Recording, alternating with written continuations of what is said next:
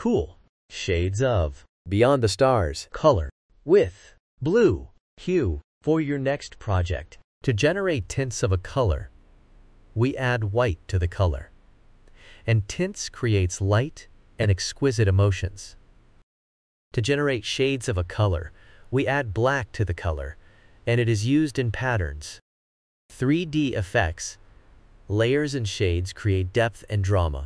Beyond the Stars. Is a cool color, and it emits calming, serene, soothing, refreshing, spacious, unwinding, peace and relaxed emotions.